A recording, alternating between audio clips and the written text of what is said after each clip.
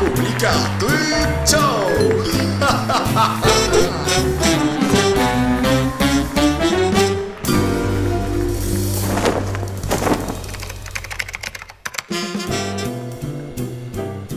Tendríamos que hablar primero entonces de las mezclas homogéneas. ¿Qué es una mezcla homogénea? Una mezcla homogénea resulta de la mezcla de dos o más sustancias puras diferentes cuya unión no produce una reacción química sino solamente un cambio físico. Ajá.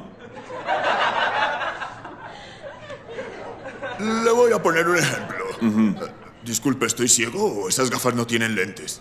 No, no tienen. Es que eran las de ver películas en 3D.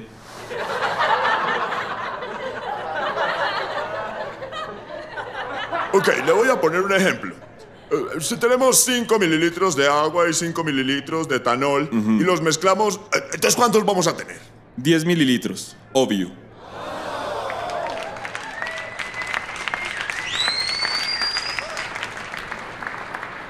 En teoría, ¿no? Pero ¿qué pasa? El resultado real serían entre 7 u 8 mililitros. Ajá. La razón de este fenómeno radica en que se logra una interacción más eficiente entre las moléculas de etanol y de agua que entre agua y agua o etanol y etanol.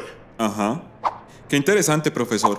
Verá, mi psicólogo siempre me dice, Simón, el alcohol no es una solución, pero su explicación tiene bases más científicas.